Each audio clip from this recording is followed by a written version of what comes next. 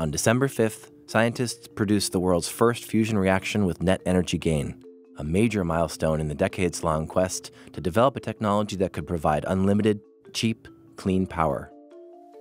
Simply put, this is one of the most impressive scientific feats of the 21st century. Nuclear fusion is the ultimate clean energy dream, the holy grail of carbon free power that scientists have been chasing for decades. In fact, experiments with fusion go back almost as far as those with fission, with the first fusion bomb detonated by the US in 1952. You know, the thing is that many people have gotten the idea that uh, until you know December 5, we didn't know how fusion worked. No, no, no, no, no, no, no.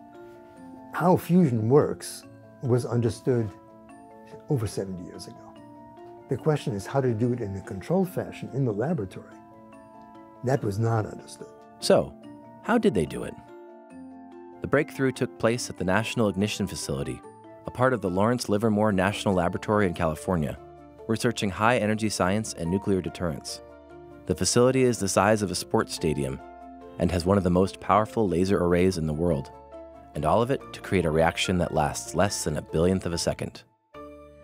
So, fusion is a reaction between two atoms where they come together to form a heavier atom, and energy is also released in that process. And the energy that comes out in that neutron is the energy that we can then harness to use for other experiments or potentially for fusion energy. There's different ways of doing this using magnets or using lasers. Here we use lasers. They're the result of decades of research and innovation. And the National Ignition Facility itself is unique. There's no other facilities that can deliver the same kind of energy as the NIF can currently. It all begins with a single pulse.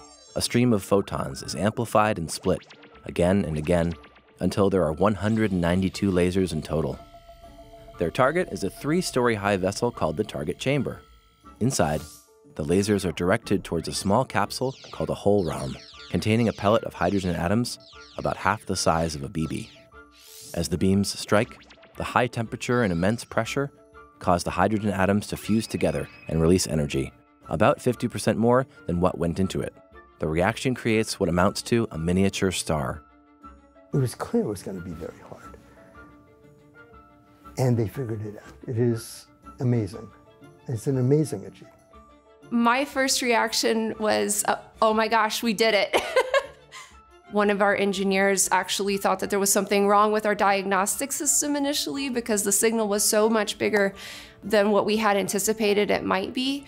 So as soon as we started to see that very early data coming in, our response was, oh my gosh, this is awesome, we did it. But then as scientists, we have to be very careful before we jump to conclusions. So we went into a period of more intense analysis of all of the data.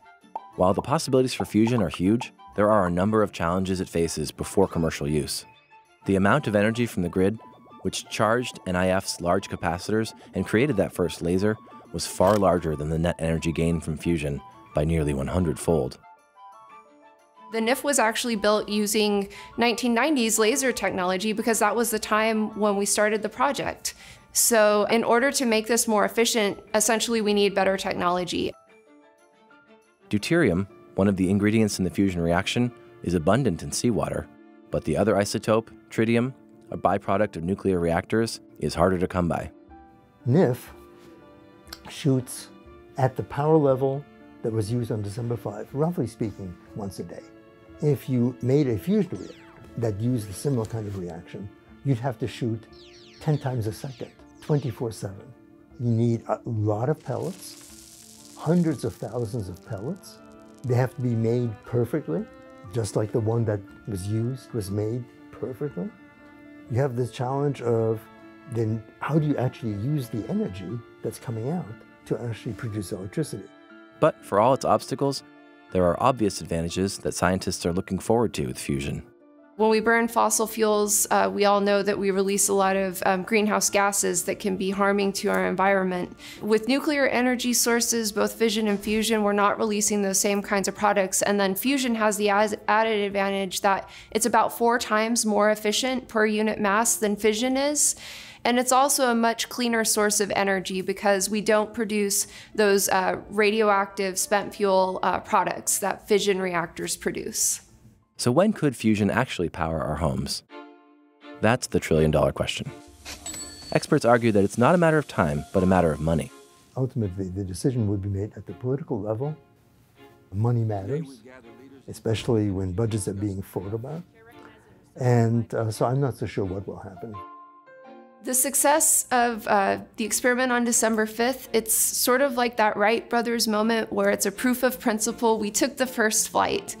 You know, that flight wasn't something that was going to get anyone anywhere in terms of actual transport. It was many, many years before we got to full scale, you know, commercial travel by aircraft in the US. I think we're in a similar state right now with fusion energy, where probably it's going to be um, at least one to two decades before we would see a commercially viable fusion energy source. But it launched, it, it launched our understanding. It helped us know that it was possible.